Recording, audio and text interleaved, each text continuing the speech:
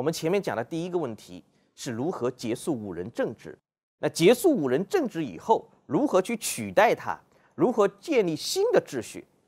宋朝有一个非常显著的现象，要最终确立了以文治为导向的这样一种国家管理模式，就是以文官作为官僚团体的主体，由他们来管理这个国家。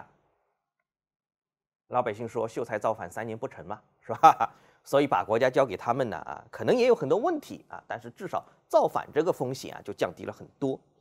所以这里面我给大家找一个角度啊，找一个角度帮助大家来理解这个问题。我们都知道，科举制度在隋炀帝的时候就被发明出来了，是吧？唐朝的时候就已经实践了很长时间，但是这里有一个问题。科举制度真正成为选拔官员最重要，我们甚至可以说几乎是唯一的途径。这样的一个变化是在宋朝啊才确立的。唐朝的时候啊，你别看这些人考进士的时候啊，最近这个诗词大会很很热门是吧？然后这个大家都会背几句唐诗：“春风得意马蹄疾，一日看尽长安花。”啊，你考就考完进士以后，你很开心啊，但是呢，过几天他就不开心了。为什么？考试考完了，没有岗位给你呀！啊，就像现在我们很多同学一样，你这个毕业的一刹那，拿到毕业证书的时候，你很开心啊，过几天你就不开心了。为什么？找不到工作，是不是啊？所以唐朝的时候，并不意味着你中了进士以后就一定能够当官儿。唐朝它还是个非常典型的贵族社会，贵族政治，很多宰相他都是啊，父亲是宰相啊，爷爷是宰相，所以能够轮到他是做宰相。你看韩愈啊，唐朝非常有名的一个文人，他这个文集里面有大量的信件是写给当时的宰相的啊，主要内容就是说，你赶紧给我找个岗位吧啊，我这个闲了很多年了哈。但是到宋代以后，情况变化了，贵族社会逐渐的瓦解，武将的势力逐渐的被驱逐。那么留下这个权力真空，由谁来由谁来填补？到了宋代第二任皇帝宋太宗的时候啊，科举制就发挥了最最重要的作用，通过科举来选拔人才，来选拔那些能够帮助国家去运行这个国家管理机器的这样一个群体。在宋太祖的时候，宋朝北宋第一个皇帝的时候。宋太祖在位大概是十七年左右时间，在他这个十七年里面呢，一共开设过十五次科举考试，录取的进士是一百八十八个人。但是到宋太宗的时候，宋太宗在位的时候，那当时间比他的哥哥要长很多，但是呢，在他在位时间只开过八次科举，你别看啊，次数只有。二分之一多一点点，但是啊，他所选拔出来的人才几乎是宋太祖这一朝的十倍。宋太宗开八次科举以后，选拔的人才多达一千四百八十七个人，甚至在雍熙三年这一年里面，所选拔的人才就有两百多个，就超过宋太祖在位十七年选拔人才的总和。这里有一段材料啊，我可以给大家看一下，说明宋太宗的时候他是如何重视科举制度，以及他为什么要重视科举制度。比如说，我们看到的这个今天看到的《宋太宗实录》，在宋太宗的端公元年，也这是他统治的晚期了。这一年科举考试啊，一共录取了一百二十九个人。这是宋太宗在位期间不算是最多的啊，但也是相当多了啊。我前面讲过，宋太祖十七年才取一百八十八个人呐，他一年就是一百二十九个人。为什么取这么多？宋太宗啊，他就在担心一个问题，担心什么问题呢？就是地方官员的缺口很大很大。你把地方军阀铲除掉以后，所有的基层官员都由中央来委派。用我们今天的话讲啊，你不仅仅是到地市这一级啊，你还要到县这一级。主要的官员，你至少你比如说这个县令，啊，还有呢就是这个县尉，我们今天的话讲就是县里面的公安局局长啦，啊，这些重要的岗位都是由中央直接去任命的。全国这么多县，这么多岗位，你一铲子把所有的五人的势力给铲除了以后，你中央都得承担起来啊啊，这个人事任命的这个责任。所以，宋太宗啊，他就总觉得人才不够用，人才不够用。那么这一次之所以能够录取一百二十九个人呢，之前呢，其实宋太宗已经做过准备工作了。宋太宗每次都嫌啊，他们这个礼部啊。在古代管科举考试的六部里面是归礼部管，礼部在选拔进士的时候啊，这个标准啊总是定得很严，啊就是总是删落很多人。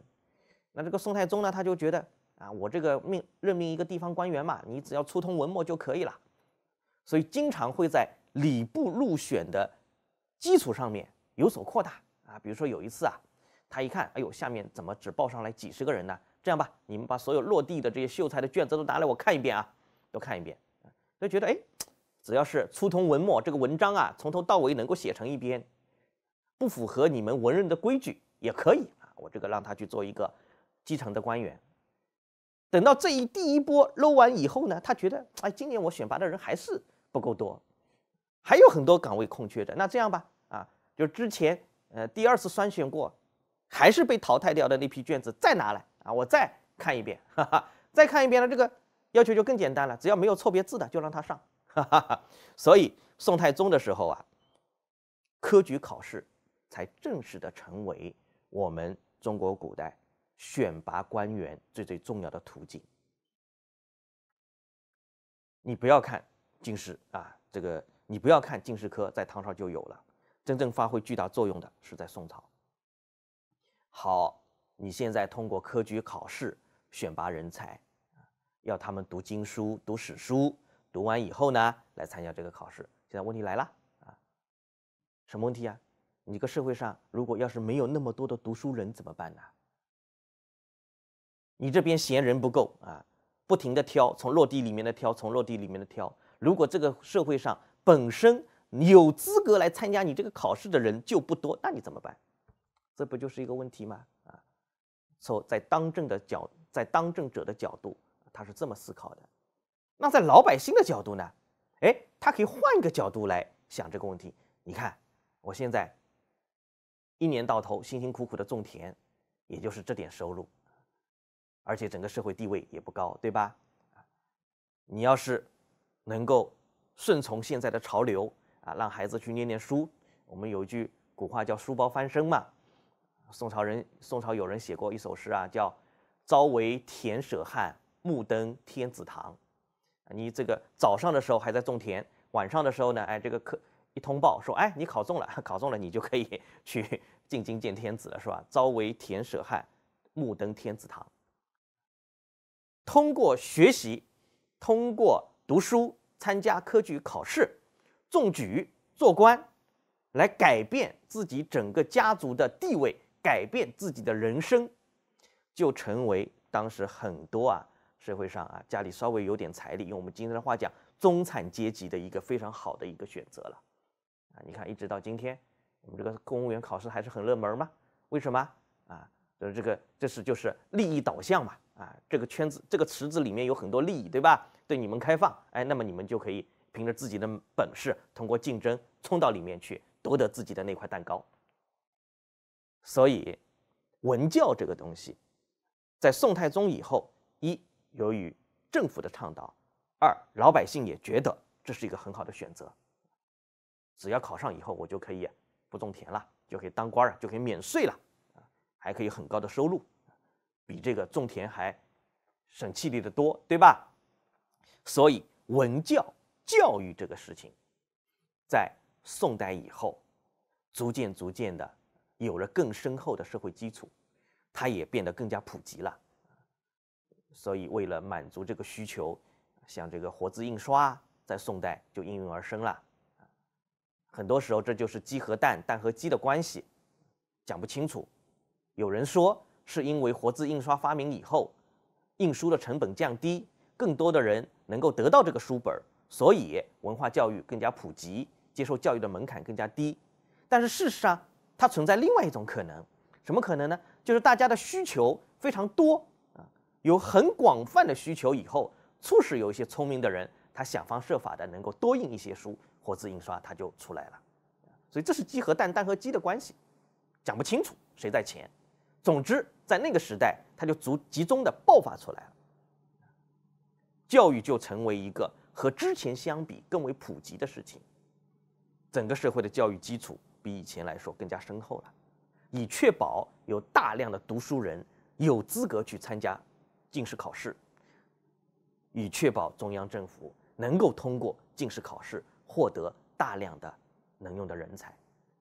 这是宋朝的一个最基本的啊一个背景。